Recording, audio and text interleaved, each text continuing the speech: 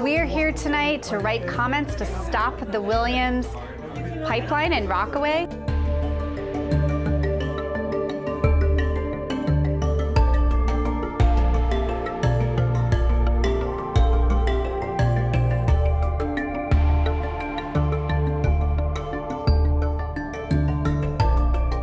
The stuff is poisoning people on the other side of the pipeline. Like people can't drink their water in their house or bathe their kids in the in their houses. Like this is real and this is what's going on. We are preparing comments tonight to bring to the public hearing in Rockaway on March 6th, starting at 5 p.m. And if you weren't able to be here tonight, you can always go to stopthewilliamspipeline.org and file very easy comments.